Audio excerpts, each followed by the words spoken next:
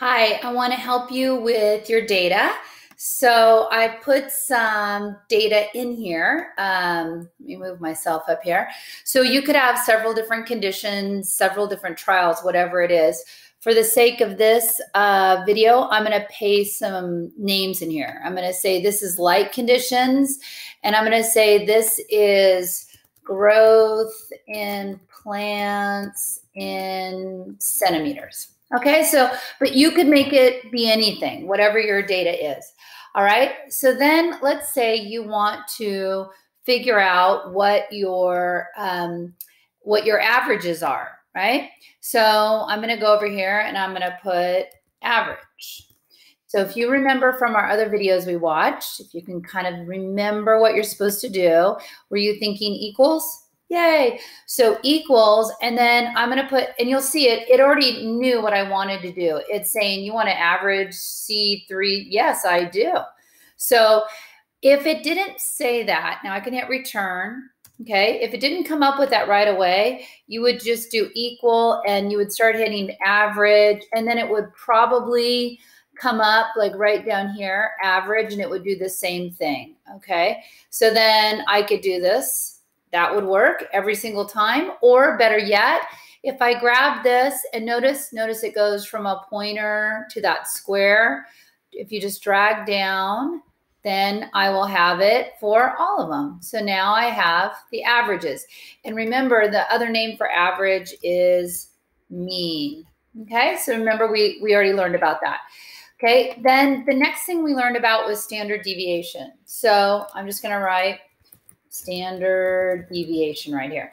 So we can do it the long way for standard deviation, or once again, we can hit equals, and then I can start typing standard. Oh, look, there it came up. Standard deviation. And I want it to be, remember, just these trials. So don't go grab your average, right? Close parentheses. So now I have the standard deviation. And that remember measures the spread of my data. That measures the spread of my data. So now I grab it, make it a box. Now I have the standard deviation for all of them. Now, I don't like looking at all of that like that. it's too many numbers. So I'm going to go up here and decrease the decimal places. Okay, I don't need to see all of those numbers. That's good.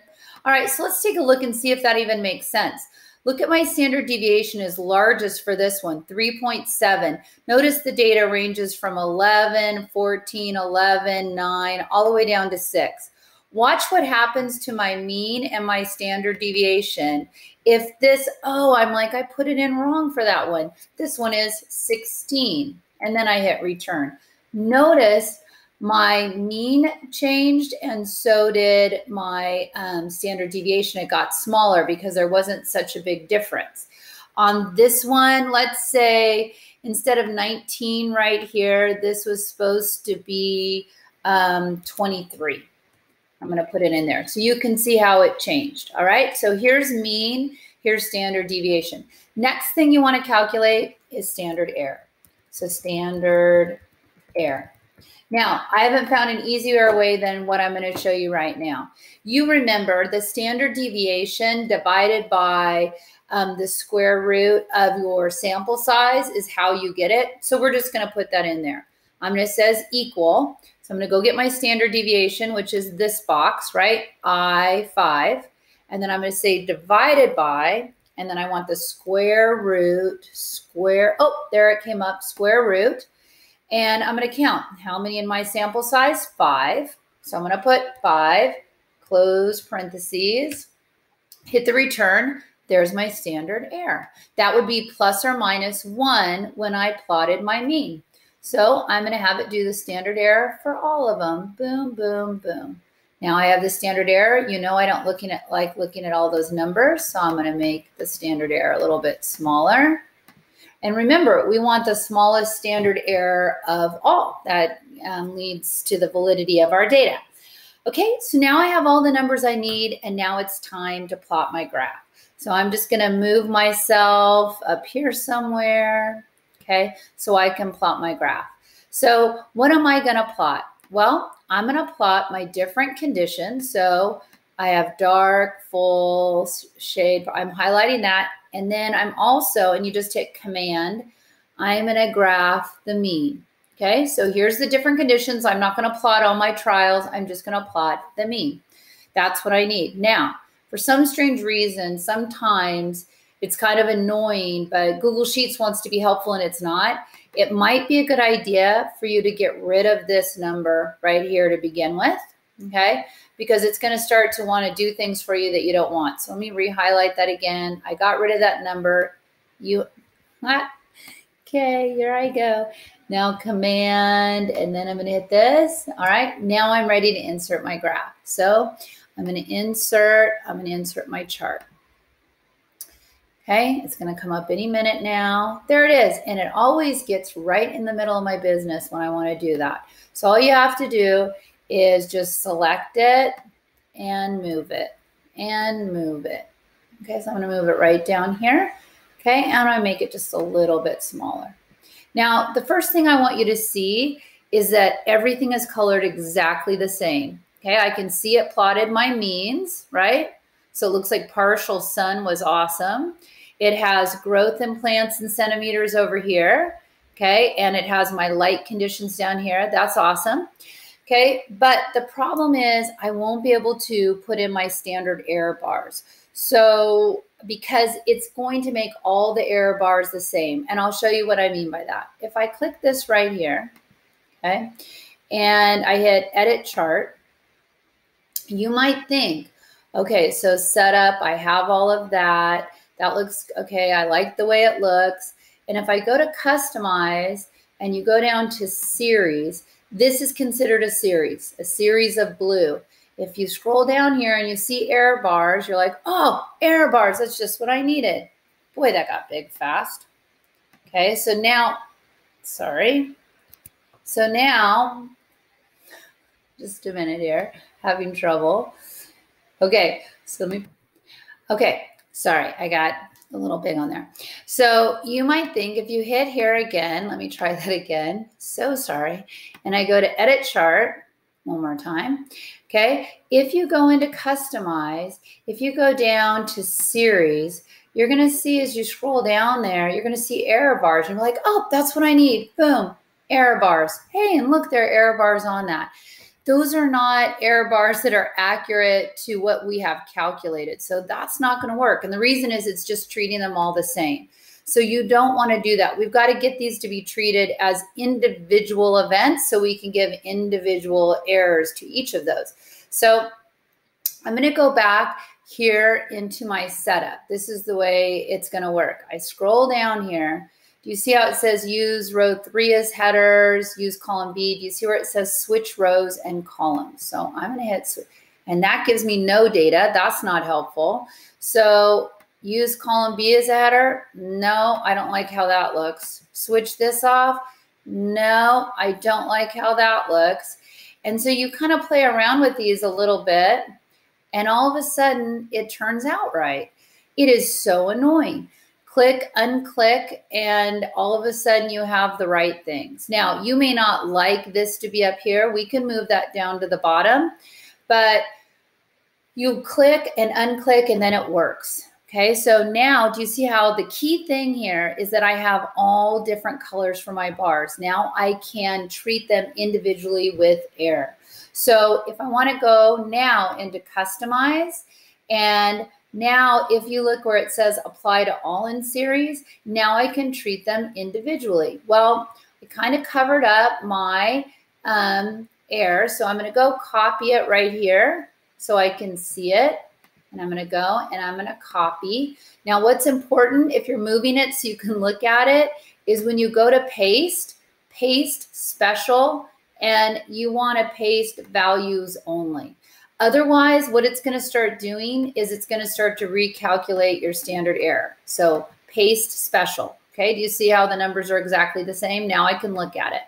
Okay, I'm going to go back in and I'm going to edit chart and I'm going to go to customize and I'm going to go to series. And now I'm going to apply just a dark. And you know what? Maybe when I make this, I want dark to actually be dark. So I'm going to make it black. And I'm going to go down here for the error bar. And the error bar for the first one, it's not a percent, it's a constant. And it's just giving me a ginormous run right now of 10, but that's not my error bar for that. My error bar is 0.68. So I'm just going to put 0.68. Okay. So now it has its error bar. Sweet. Now I want to do the next one, full sun. Okay, and then this one here is shade. I think I'm going to do that one next because I'm going to make that one a shady color so I don't get confused with the two colors. Um, so I'm going to go back up here to my series. Okay, and I'm going to pick the one that says shade and I'm going to make that look shady. I don't know what looks shady. Maybe that looks shady. Okay, and I'm going to go down here and I'm going to put error bars. And for the third one in, the error bar was 0.66. So I need to say constant and its bar is 0.66. Perfect. Okay, I'm done with that one.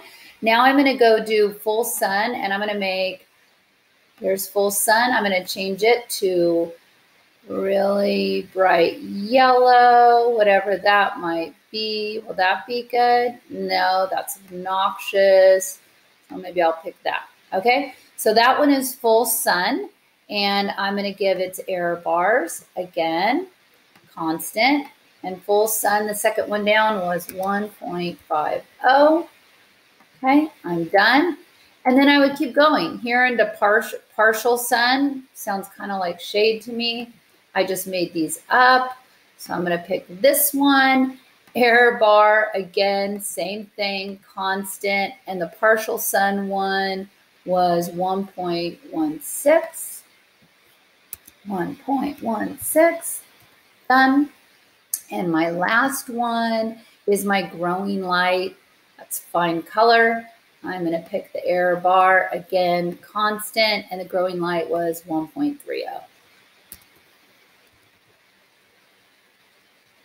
Whoa, not 130, 1.3. Okay. Excuse me. All right, so now I've got this looking the way I want. Now, maybe yours didn't label itself exactly right. So I wanted to show you how you could do that if you wanted to when you go to edit chart. Okay. So it's a column chart. That's good. I'm going to go to customize. So chart style, we already picked our chart style, so I'm not worried about that. Um, chart axes and titles. Here's my chart title. Now, if I wanted to, I could even have a chart subtitle and I could say um, back, uh, let's see, investigative. I'm not saying for you to do this, but I'm just showing you if you have a subtitle. Now it's got Investigative Lab 2020. Um, again, if they're if your axes weren't labeled correctly, you can change your horizontal or your vertical axes right there, and so that you have all of it. Um, your legend, maybe you don't want it on the top. See where it says position. So I'm going to say I want my legend on the bottom for my different conditions. All right, so now I've made my chart. I've got it titled. I like the way it looks. Um, so now if I wanted to, I could um, publish this chart, copy this chart. Um, I could download it as a PDF or a PNG, and then I could put it as in, I could um, load it directly into my Google slide deck. So I hope that's helpful for you. Notice I led with my independent variables, then I put my dependent variables. Notice how I went around and I needed to change them when they were all blue, which is what they'll default to, then you can't change the error bars. But if you make them individual, you can. All right. Any questions? Don't forget, see me in seventh period. You're important. I love you. I think that's it.